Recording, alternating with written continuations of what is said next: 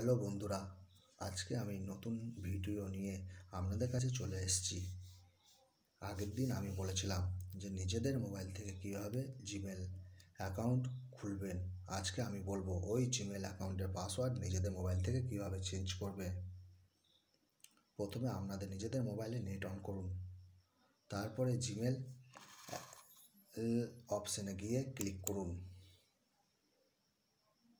Click করার পর এই অপশানে যেয়ে ক্লিক করুন। ক্লিক করার পর নিচেতে চলে আসবেন সেটিং অপশানে ক্লিক করুন।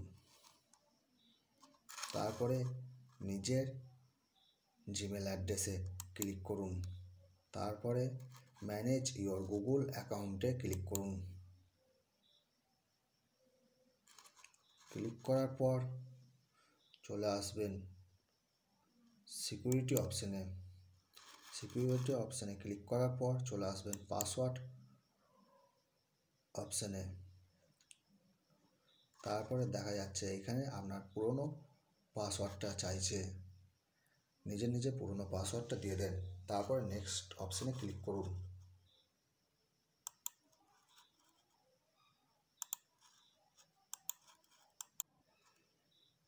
নেক্সট অপশানে ক্লিক করার পর দেখতে পাবেন নতুন একটা পাসওয়ার্ড দিতে বলছে।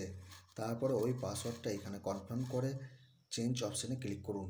দেখবেন আপনার পাসওয়ার্ডটা চেঞ্জ হয়ে গিয়েছে